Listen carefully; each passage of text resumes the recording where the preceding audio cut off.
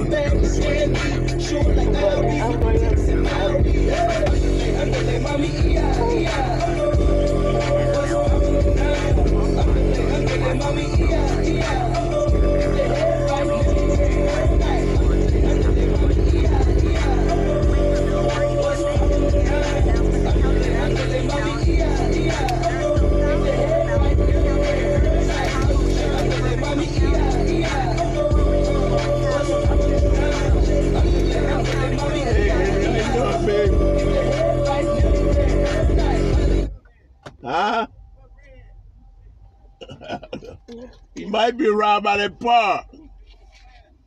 Uh, It is in the process of counting 10,000 ballots. On the city side, they resumed at 10 with about 11,700 ballots to go. Late yesterday, Quinn led Brady by about 19,000 votes, so it appears Pat Quinn may have avoided the fate of other Democratic governors nationwide and won his first full term.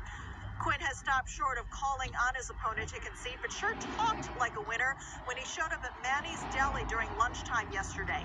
He said it was time to put the bitter campaign behind, and he's got a lot of work to do. He reiterated his support for an income tax hike to help deal with a budget deficit that could top $15 billion.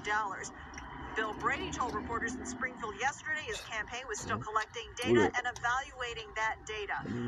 Election results don't have to be certified until December 3rd.